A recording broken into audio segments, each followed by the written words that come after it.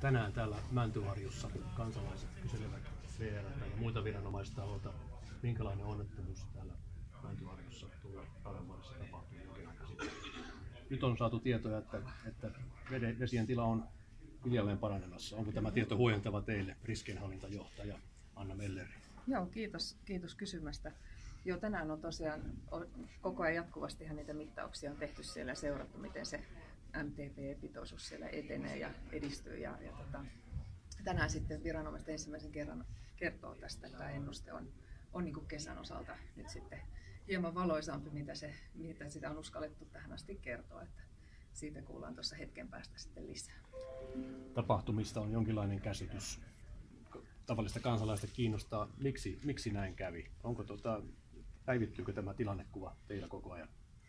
No joo, kyllä tätä selvitetään ja, ja tosiaan niin tämä onnettomuuden syytä ei ole, ei ole vielä, vielä selvitetty. Otkeshan sitä tutkii paraikaa ja, ja tämä on niin kuin ihan tämmöinen ennalta arvaamaton, eli, eli siinä mielessä ei tässä mitään, mitään tahallisuutta tai huolimattomuutta ole vieläkään ilmennyt. Että, mutta että syytä tosiaan selvitetään Otkes, sitä, sitä sitten tulee jossain vaiheessa raportoimaan.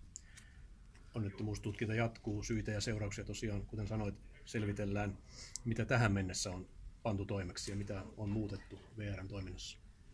No VRn toiminnassa on, on tehty joitain ohjeiden päivityksiä, tarkennuksia ja vaarallisten aineiden kuljetuksiin on tehty tiettyjä paikkamuutoksia sen myötä, mitä tässä on niin yhteistyössä sitten Otkesia viranomaisten kanssa puhuttu ja selvinnyt pieniä juttuja, mutta ei mitään merkittäviä isompia asioita.